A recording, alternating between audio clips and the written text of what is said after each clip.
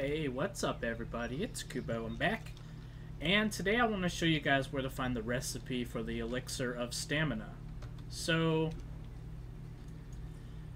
I found two ways to get it. First way, Caldrum sells it. This guy right here.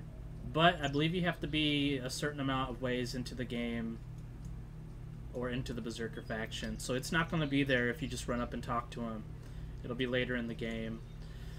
But if you just want to go find it, if you go up here to the hangar, let's pour it on up here. There's actually a recipe just lying around up here. So if you want to get your permanent stamina buff, this is where you can find the recipe just lying about. So it's up here in this building. And there's probably going to be a lot of bad guys and mutants and whatnot surrounding here. I think I cleared this out earlier. Just gonna head on inside. You can probably go in right there, but I think I went back here to find it. Okay, here we are. So what do we have here? It should be just lying around in here somewhere. Small blue gemstone. Those are always nice to find. There's another map piece. Map piece 10.